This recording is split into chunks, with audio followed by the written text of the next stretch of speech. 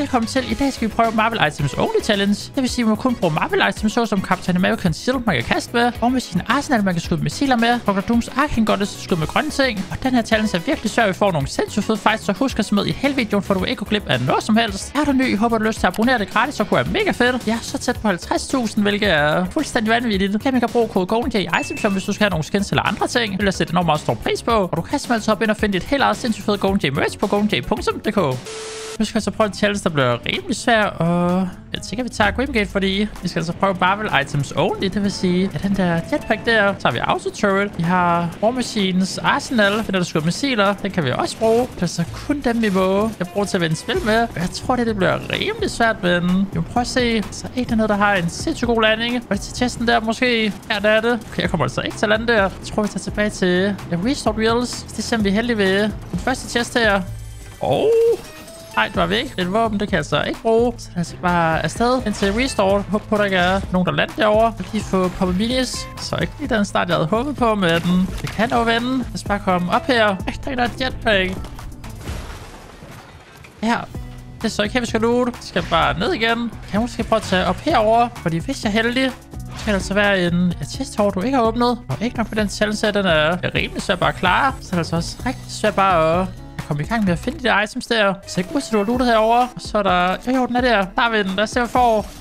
Så er det jetpack. Jeg havde lidt håbet på den der arsenal der. Den med missilerne, fordi det bliver helt klart det bedste item, vi kommer til at kunne bruge. Men var det svært ikke der. Så tager vi spaces med. Og det spændende her. Og der er faktisk det der Captain American Shield. Kan vi godt bruge. Så nu har vi der ja, et eller andet, vi kan skade med. Vores fodtrin. Der. Rig. Nu. Jeg missede.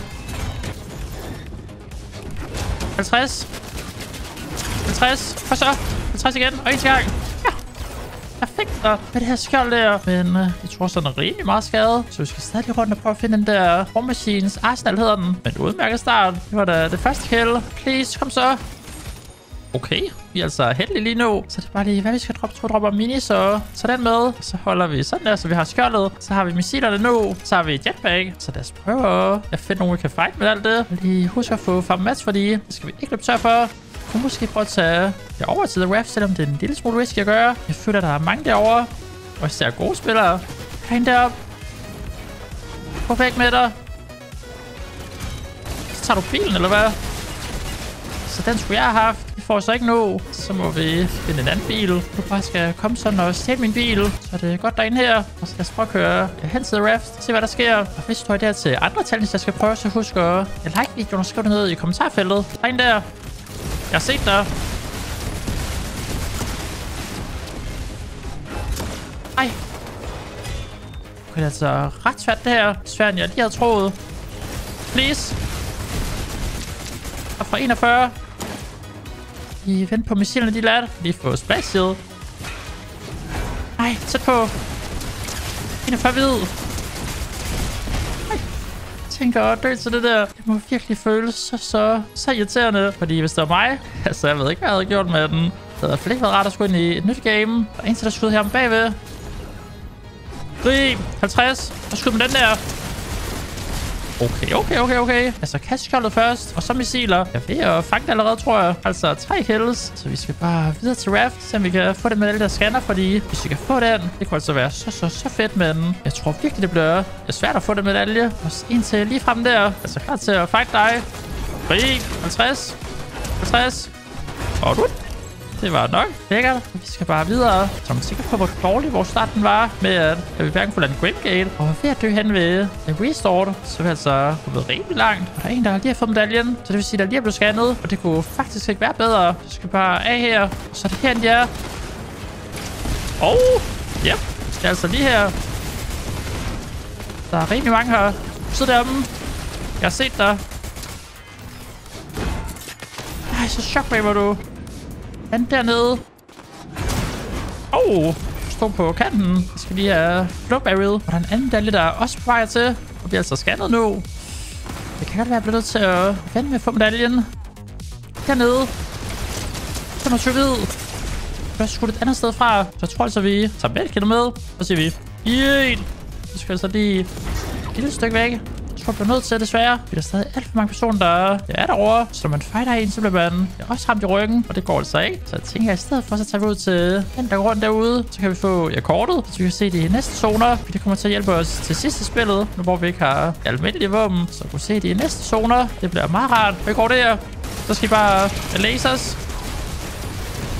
Det var super hurtigt. Så tager vi medkittet. Eller ikke medkittet, kortet hedder det. Så skal det bare lige ind til computeren heroppe. Så kan vi så se de næste zoner. Det kommer til at betyde helt meget. Og splash, dem tror bare, vi får kastet. Eller skal vi tage med? Altså, Lad os lige prøve at se hernede. Jeg tror, der var medkit. Så hvis vi popper medkittet. Det kan jeg ikke, fordi I ligger i vejen. Jeg må godt lige sådan der. Så hvis jeg popper medkittet, så kan jeg tage splashes med. Oh, sådan der. Så har vi altså to splashes med. Så vi ikke lige kan finde nogle flere splashes. Men fire kills kun med Marvel items. Det er altså en ret sjov challenge. Og hvis ikke I selv har prøvet den, så prøv at hoppe ind og jeg prøver det selv bagefter. Jeg tror, der er en, der skal hen til bunkeren måske. Eller hvad? Lad os se. Hold da op, du har allerede fået to medaljer. Okay, det er rimelig hurtigt, du har det. Jeg ved ikke, om jeg skal kigge ned i bunkeren, fordi hvis den anden spiller kommer lidt på den. Men vi satser. Fordi der er ikke så meget, jeg kan jeg få hernede. Det eneste, jeg sådan set kan, det er de der væg der. Dem kan man højst holde 15 af. Dem har jeg 12 af. Og der var tre mere. Nu kan jeg ikke holde flere. Så kan vi selvfølgelig lige tage noget guld. Og så kan vi ellers ikke få, få mere mere nedefra. Der er desværre ikke flere splashes. Og der er faktisk en guld gatekeeper og en lille combat. Det kunne være så fedt at spille med, manden. det går altså ikke. Altså, der er en autoturret, vi godt kunne tage med. Men jeg føler, at shockwaves, det kommer til at redde os mere i forhold til autoturret. Så lad den altså være hernede. Og storm kommer, så vi skal bare afsted. Og så må vi faktisk have medalje dernede på et senere tidspunkt. Det var ret lækkert, hvis vi lige kunne finde nogle flere splashes, for vi har altså kun to stykker. Man kan holde seks i alt. En nitro drone, det er det altså ikke i zonen, så jeg kan ikke rigtig gå derind og kigge. Så vi må finde dem et andet sted. Snop den der, så får vi fuld liv. Uh, der er jo splashes, så har vi fire stykker. Og hvor er medaljerne? Hvor de skal til at fight nu? Så skal vi så meget hen til dem, fordi hvis vi kan fuck i den fight, så få alle medaljer. Det kunne være rigtig blæret. Åh, Lad os se, hvor de er. Det skal da ikke for tæt på, fordi når de så får scannet, så går der altså ikke, lige. jeg scanner også. Altså tre medaljer. Jeg tror, det er en vild fight, de har herovre. Så ud til, de er deromme på den anden side. Lad os prøve at tage og kigge. Så vi kan flyve helt op. Kunne vi godt? En vild fight, de har. bare tre medaljer samlet. Der er en, der prøver at flygte der. Og så, det er min chance der nu. Ja, perfekt der. Så er det medalje. Au! Jeg er rimelig stille. Yeah. Vi skal altså bare væk, fordi det gjorde så ondt. Vi følger stadig efter mig. Den medalje, der droppede dernede. Jeg tror, der var en, der døde. What? Hvad er chancen lige? Hvad er medaljen, der kan scanne? Okay, sindssygt. Nu er du til fall damage, eller hvad er du til? Jeg har ingen idé med den. Uanset hvad, så er det mega fedt for os i hvert fald. Så der er en med medalje heroppe. Har altså 6 kills, så der er 11 andre tilbage. Er den tredje person er herovre. Grib! Uh, altså ikke ret det der. Han får 25, så skal vi lige lade en gang. Du skal altså bare vide, at kun har de her Marvel items her. 25 igen. Nu er du scannet. Det er jo perfekt det der. Uh, du er cracket nu. Kom så, lad de missiler. Jeg skal bare dig ud. Jeg tror, det er den bedste spiller tilbage.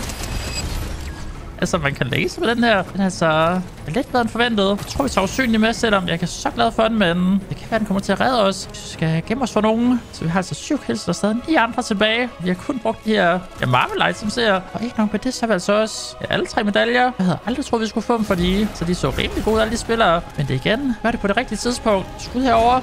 Så skal vi afsted. Vi skal bare ud og fight endnu flere. Se om vi kan finde, hvor de går rundt henne. Der har været bygget helt derovre. Lad os prøve at tage hen og kigge. Det måske godt være, der er stadig nogen. Det er der, hvor bunkeren er. Så hvis der er en, så er der altså også en god spiller, der er derovre. Vi skal hen og måtte sin våben. Så kan altså også være lukket ind. Så vi skal lige ikke for langt frem. Og en, der døde der med en ikke se nogen herover. Så jeg tror bare, vi skal med den her vej her. Tilbage igen. Lad os se næste sol igen. Den går altså herud til. Den der fodtrin ind i bygningen her. Vil du ud til mig, eller skal jeg komme ind til dig? Du måske gribe et skjold. Så du ud. Vi der. Om for 66. 81. Ej, jeg skal ikke dø. Du så slidt. Det er du. Yep. Så er der kun to tilbage. Det er altså faktisk en okay spil der. Lad os lige få poppet der pixel her. Så tager vi flugger med. Lad os komme ud og finde de sidste to. Scannet, men jeg tror ikke, der er nogen, der er markeret. Så de må altså være helt herovre på den anden side. Lad os prøve at se en gang. Næste er fodtrin. Jeg havde ret. Jeg må så heroppe et eller andet sted. Dernede. 16. Ej, det er en jetpack. Og så 32, 48, 64 hvid. Ej, du slidt. Jeg må da der nu. Jeg har set dig. Jeg skal bare ikke dø. Uh!